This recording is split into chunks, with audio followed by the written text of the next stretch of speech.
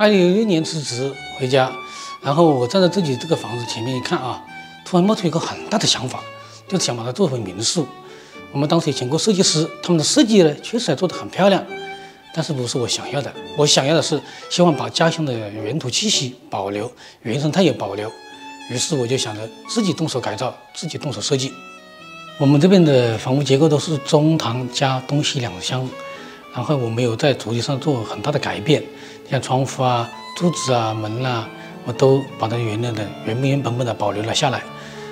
然后我只是在那个西厢房呢加了个玻璃的玻璃的大厅、玻璃的墙面，然后让自然把它融入到这个房间里面来，让客人呢往里面坐就感受到这个这个自然的气息。啊，中堂呢，我把它变成了我的小小的一个艺术馆，然后把自己的历年来的作品呢都把它展示出来。呃，庭院呢，我就只在前面加了一个景幕墙。哎，把它这个私密性，把这个把它的一个神秘感，把它文化氛围做了一下。啊，民宿做好之后呢，呃，就引来了很多的不同的客人，文化圈的、艺术圈的，他们都会到这里来聊聊天、喝喝茶、聚聚会。哎，从这个主体的一个改造和构建来说，就是说，让这些游客、客人、朋友来尽量的感受本土的气息、本土的文化。一九年我们回到这个乡村的话，和先生打理这一间民宿。然后平时的话，我是比较喜欢做一些手工的。像春天的话，啊，这边有野菜，我们会出去采一点野菜，做野菜饼给客人吃。夏天的话，这里有一些中草药，所以会跑到外面去啊，采一点回来，然后晒干。等到客人来的时候，我们就会把它熬好，然后呢，把我们自制的王老吉给他们喝。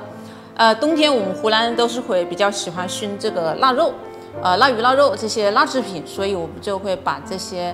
呃，冬天就熏一些这些东西，还会做那个豆腐乳，我们这里俗称猫鱼。然后平时的话，我们一年四季这里也会有一些果子和一些花东西，啊，包括野生的和自己种的，我们会采回来，来用来泡酒，比如说桑葚啊、李子啊、杨梅这些等等。呃，另外有空闲的时候，我还会啊做一些其他的，比如说包子、馒头、饺子等等这些东西。新庄村虽然说不是很大，但是装下了我对自然生活的所有向往。当年我提出将我们老宅改为民宿的时候啊，我们村有一十六户嘛，就有一十四户把它一起走了进来，就是成立公司，将这个小组进行整体打造，啊，有稻田。荷塘、露营基地、聚会空间等等。